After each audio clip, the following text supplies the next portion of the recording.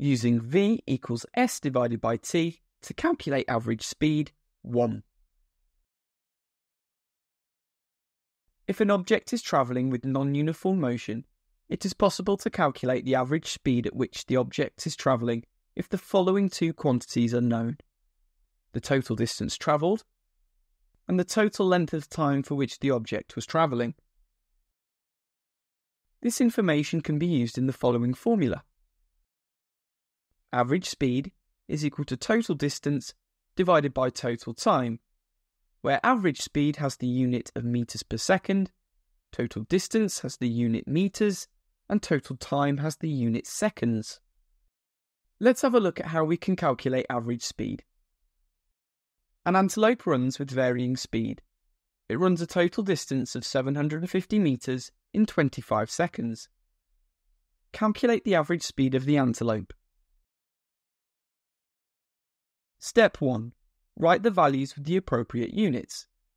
The question states that the total distance travelled by the antelope is 750 metres.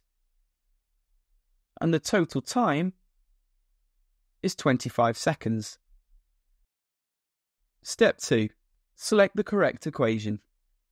Average speed is equal to total distance divided by total time.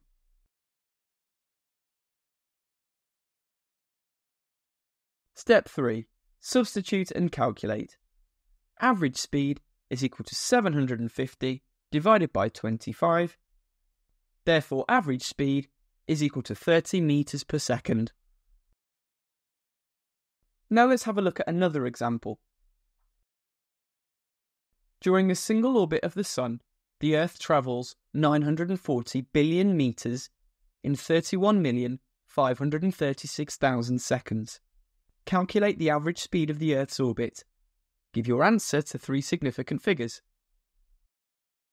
Step 1. Write the values with the appropriate units. The question states that the total distance travelled by the Earth is 940 billion metres, and the total time to travel this distance is 31,536,000 seconds. Step 2. Select the correct equation. Average speed is equal to total distance divided by total time. Step 3. Substitute and calculate. Average speed is equal to 940 billion divided by 31,536,000 seconds. Therefore, average speed is equal to 29,807.2 meters per second.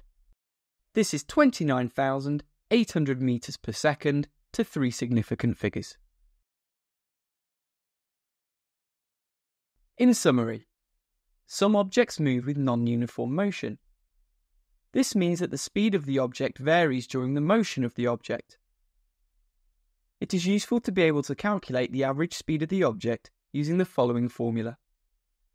Average speed is equal to total distance divided by total time. Keywords Uniform motion, the movement of an object that has a constant speed during a given time. Instantaneous speed, the speed at a given time. Average speed, for an object travelling a given distance in a particular time and at varying speed, the average speed is a constant speed at which the object must travel if it is to complete the same distance in the same amount of time.